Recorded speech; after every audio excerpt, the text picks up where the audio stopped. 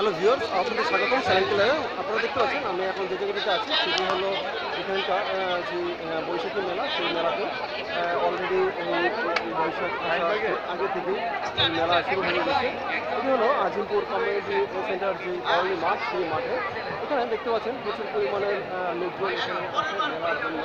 তার পাশে অনেক ধরনের জিনিসপত্র এবং যেসব সাজি মেলার যে শুরু ধরনের মেলা হয়ে থাকে। মেলাতে প্রচুর পরিমাণে মেলার যে পিছন দিকে, সেখানে বিভিন্ন ধরনের যাত্রা, বিভিন্ন ধরনের যে জিনিসপত্র ট্রেন গাড়ি নৌকা এছাড়া সব কিছুই আছে।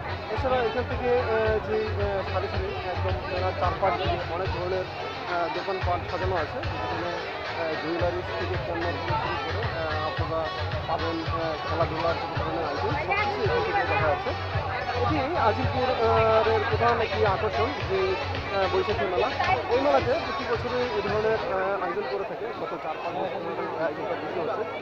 মেলার একদম যে দক্ষিণ দিকের যে কর্নার সেখান থেকে আপনারা পাবেন ধরনের আহ, পণ্য সেই সমস্ত পণ্য আপনারা পাবেন তারপর যদি যাবেন সেখান থেকে হাউস হোল্ড অ্যাপ্লায়েন্স রিকোয়ারিজ আইটেম সহ তারপর আপনি যাবেন খেলনা সামগ্রী।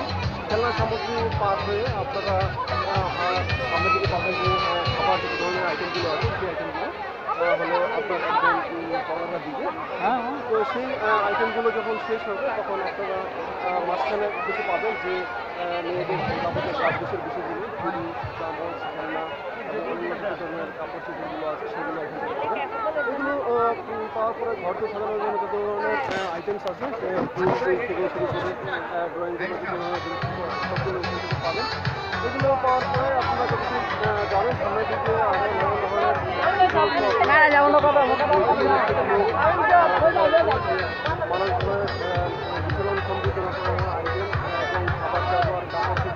সমস্ত জিনিসপত্রই হলো আপনারা এখান থেকে পাবেন প্রতি বছরই এই ধরনের বৈশাখী মেলা আয়োজন করে থাকে এখানে আজিমপুর কমিউনিটি এবং কমিউনিটি যে মাঠটি আছে সেই মাঠে এখান থেকে আসলে আপনি নানান ধরনের অভিজ্ঞতা তো পাবেনই এছাড়া সুন্দর সুন্দর পরিবেশ দেখতে পাবেন ছেলে মেয়ে নানা ধরনের আহ, ভরপুর যে একটা আমেজ যে মেলাতে যে ধরনের আমেজটা থাকে সেই আমেজটা আপনারা এখানে পাবেন।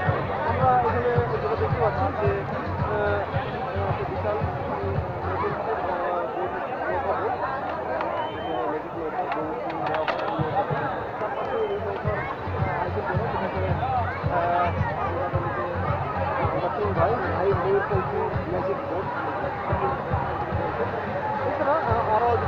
কেউ যায়, আমরা যদি যাই, তাহলে আমরা জিনিসটা পাবো।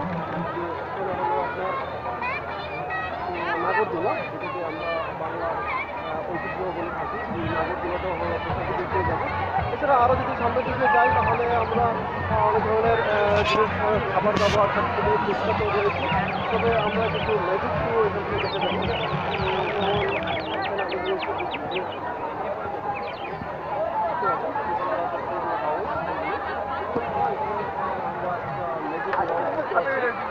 আপনারা যদি এখানে আসেন তাহলে তিরিশ টাকা দিয়ে টিকিট কেটে হলো